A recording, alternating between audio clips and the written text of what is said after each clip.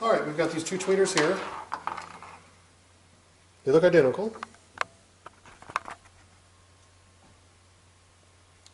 One is built to our specifications and one is not. The one with the blue tape was sent to us originally thinking that they had met our requirements. So we went ahead and measured that one. Let's take a quick peak noise reading.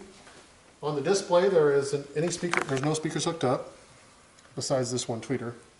And they are going through a passive crossover network.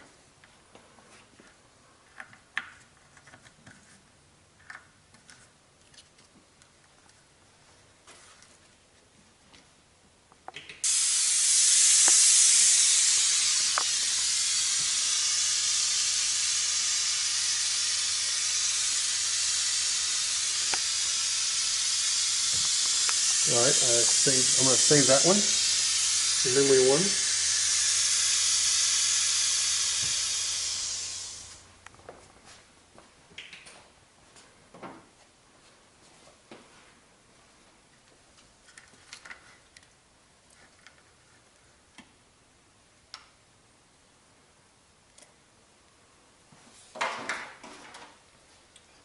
Now this tweeter was uh,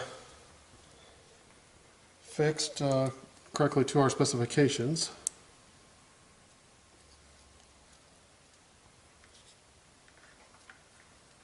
Let's see how it stacks up against the one that looks identical, but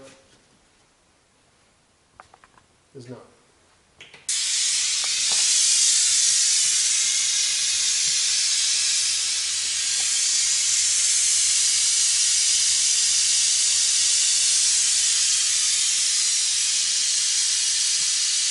All right, we're going to save that on memory two.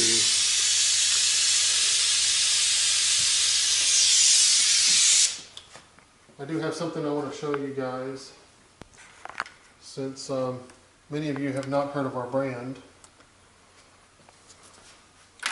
I do have a lot of speakers laying around. Here's a, an Audio Frog tweeter. I'm going to go ahead and wire this up and we'll do the same reading. This will give you guys an idea of how we fall, at least frequency response and efficiency wise.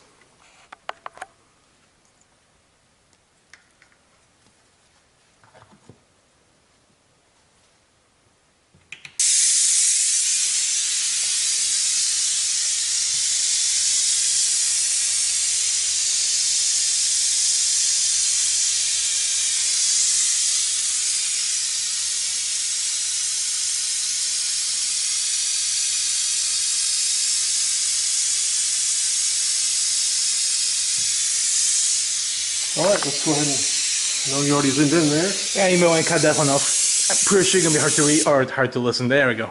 Hopefully you can see the difference there. Oh yeah, very plain. The purple is the one that we are currently producing. The green is the one that did not pass our requirements for the manufacturer. And the red is, uh, is from AudioFrog. I do have a lot of respect for Andy Waymire.